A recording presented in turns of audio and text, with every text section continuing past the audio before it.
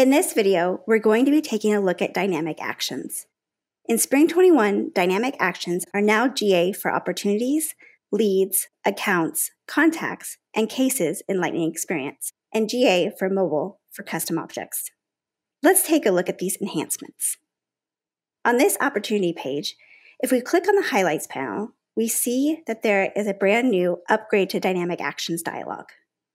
When you press upgrade now, we're going to be able to migrate our actions from an existing page layout right into the Lightning App Builder. What this allows us to do is to take advantage of dynamic visibility rules. If we click on any specific action, for example, the generate quote PDF action, we're able to add a visibility rule.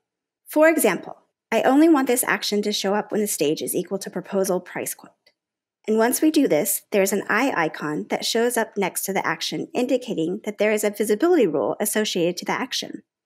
This is super helpful as it allows you to configure which actions show up at specific times. There are also certain actions that are now able to be configured to show up in the highlights panel that you couldn't before. For example, log a call, new task, new event were previously only available in the Activities Composer when you configured them in the page layout. Now that we've moved the metadata directly into the Lightning page, these actions are able to be configured to be shown in the Highlights panel if desired. If we look at the actions, each one also has an icon indicating whether they are supported for desktop only, such as sharing and printable view, and which ones are going to work across desktop and mobile when we extend this capability to mobile.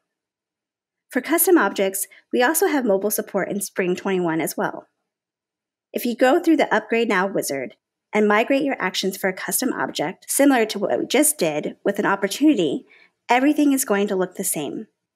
However, all these actions we see here are now powering this custom object page for desktop and mobile. Let's say there are certain actions you have created specifically for mobile. You could create a dynamic visibility rule for each action, indicating it should only show for mobile, but we have something even better. If you press on the page and bring up the page properties, there's a new option that allows you to enable a set of dynamic actions just for mobile.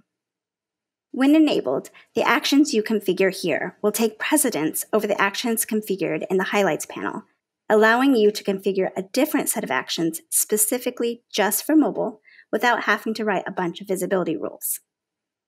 This is super powerful, particularly when the set of desired actions for mobile is much less than desktop, or if they are a completely different set of actions altogether.